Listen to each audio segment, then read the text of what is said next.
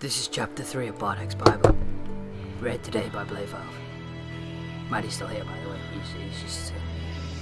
Chapter 3 Swag.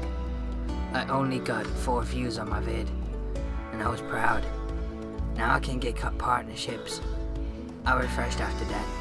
I'm bigger at Cambridge bigger than. Soon they could pro jock.